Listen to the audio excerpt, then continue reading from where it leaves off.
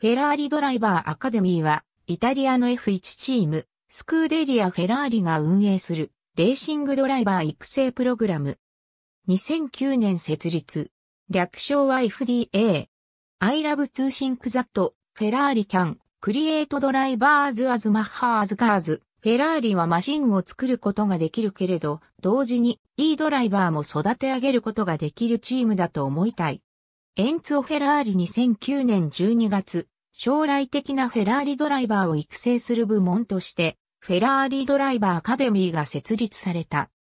初代マネージャーには、エンジニアや戦略担当として、下一チームを支えてきたルカ・バルディセッリが就任した。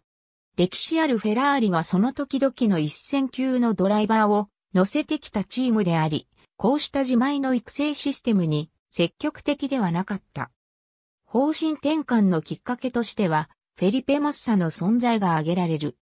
マッサは、チーム代表、ジャン・トットの息子、ニコラス・トットがマネージメントを受け持ち、テストドライバーやザウバーでの実践経験を経て、2006年からフェラーリの正規ドライバーに選ばれるというモデルケースになった。FDA はアートやプレマなどのチームと提携し、フォーミュラ4、フォーミュラ3もしくは GP3、フォーミュラルノー、フォーミュラ2もしくは GP2 などのステップアップカテゴリーに選手を派遣する。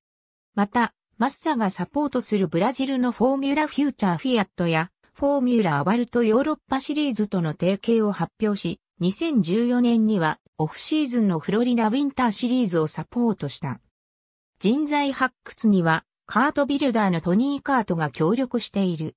FDA の候補生たちはマラネットのフェラーリ本社に隣接するフィオラのサーキットを利用し、テストコース上での実地走行や座学、ドライビングシミュレーター訓練、体力トレーニングなどを行う。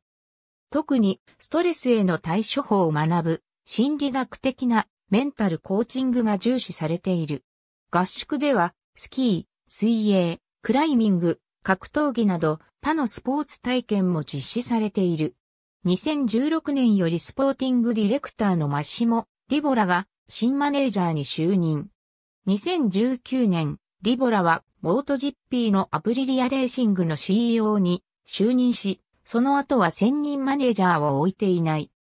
スポーティングディレクターのローレン・メキーズが全体を統括し、マルコ・マタッサが直接的な指導に当たっている。FIAF2 選手権に参戦するミック・シューマッハ・ジュール・ビアンキ、ジュリアーノ・アレジ、エンツォ・フィッティパルディ、セバスチャン・モントーやミック・シューマッハといった過去の F1 ドライバーの血縁者が含まれている。フェラーリ在籍中に5度チャンピオンを獲得した偉大な父親を持つミックの加入は大きな注目を集めた。また、シャルル・ルクレールと弟のアーサー・ルクレールは兄弟で FDA に選ばれている。熱狂的なフェラーリファンが望むようなイタリア人のフェラーリドライバー誕生を目指しているわけではなく、メンバーの国籍は多種多様である。2012年には、鈴鹿サーキットレーシングスクール出身の松下真二をテストに招待している。なお、アントニオ・ジョビナッツィの場合は、FDA に入らず直接フェラーリとサードドライバー契約しており、2017年にザウバーから会一デビューした。また、将来的には女性ドライバーの採用も考えている。FDA 出身でフェラーリ入りが嘱望されたジュール・ビアンキ、フェラーリドライバーを輩出するという設立目的は、チーム状況やタイミングのズレもあり、なかなか実現しなかった。セルジオ・ペレスは2011年に FDA メンバーとして最初にザウバーから会一デビューし、2012年シーズンの活躍で、フェラーリ入りが噂されたが、2013年にマクラーレンへ移籍したため FDA を離脱した。本人の10回では、実際に2014年からフェラーリ入りという事前契約が提示されていたという。FDA 契約ドライバー第1号のジュール・ビアンキは弱小、マルシャでの検討が光ったが、2014年日本 GP の事故で昏睡状態となり、翌年亡くなった。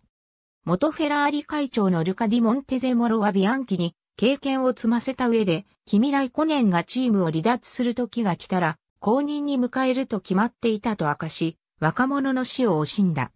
FDA 公式サイトのドライバーページには、チャウジュールズというハッシュタグ付きで、ビアンキへの親愛のメッセージが記されている。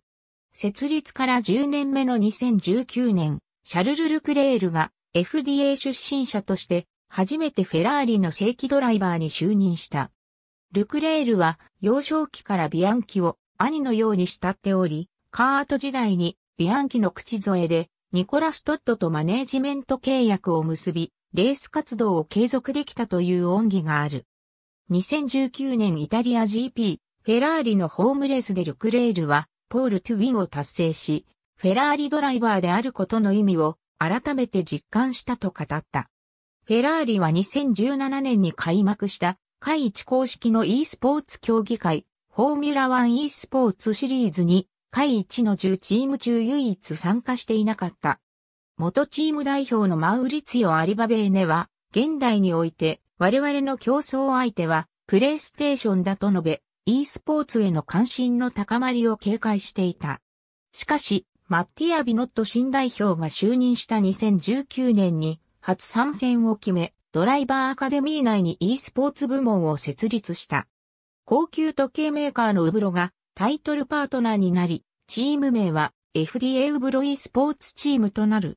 2019年シーズンはデビッド・トニッツァ、アモス・ラウリーとジャン・フランコ・ギグリオーリの3選手が所属し、トニッツァがプロシリーズのチャンピオンに輝いた。ありがとうございます。